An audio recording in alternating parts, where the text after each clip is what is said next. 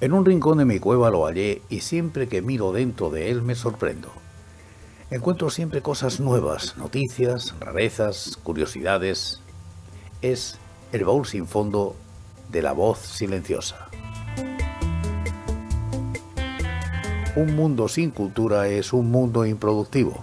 Por eso, cada día y en este momento de la voz silenciosa, añadimos una nueva palabra a nuestro diccionario particular, bien para aprenderla o bien para recordarla.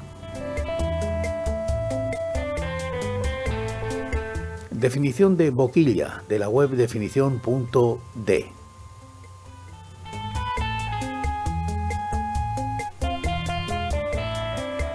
Boquilla es el diminutivo de boca, la cavidad donde se encuentran los dientes y la lengua que permite el ingreso de los alimentos al tubo digestivo.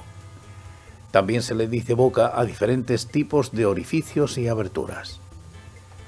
Una boquilla puede ser una pieza hueca que forma parte de ciertos instrumentos musicales de viento. El músico debe apoyar su boca en los bordes de la boquilla y soplar para generar el sonido. Fabricadas con madera, marfil o metal, las boquillas apelan a la vibración de los labios de la persona para producir los sonidos. En el caso del conjunto de los instrumentos de viento metal, como la trompeta, el clarín, el trombón y la tuba, la boquilla suele ser de latón. Esta clase de instrumentos tienen la particularidad de cambiar de notas sin pistones ni llaves, solo a través de las alteraciones de presión que hace el intérprete sobre la boquilla.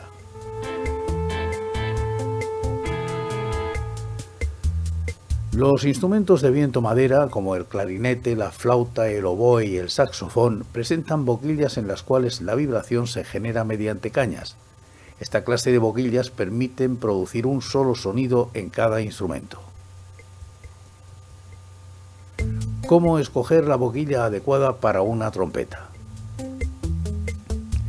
A diferencia de otros instrumentos, como la guitarra o el piano, a los cuales los músicos pueden adaptarse con facilidad sin muchas exigencias, la experiencia de tocar la trompeta se ve condicionada en gran parte por las características de la boquilla.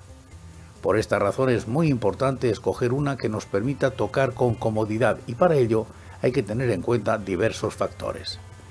En primer lugar se encuentran las cuestiones que hacen al tamaño de la boquilla.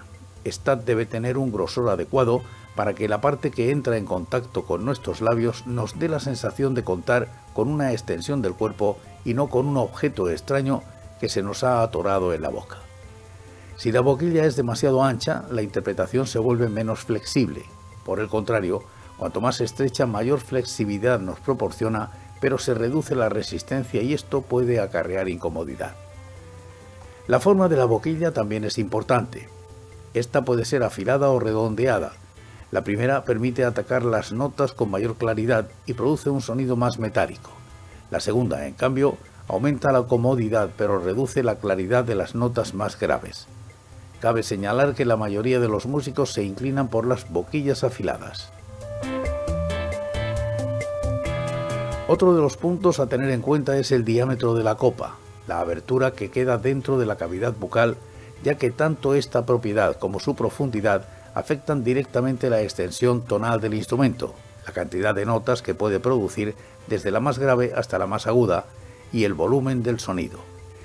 El tudel, por su parte, es un engranaje que se encuentra en la boquilla y la conecta con el instrumento.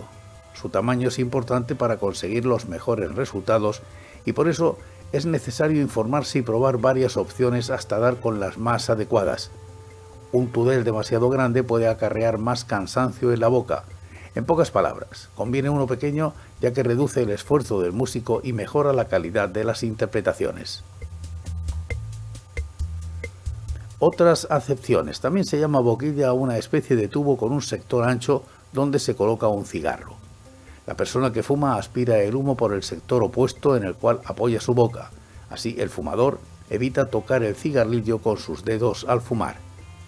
La boquilla por último es el sector de la pipa que el sujeto introduce en su boca para fumar.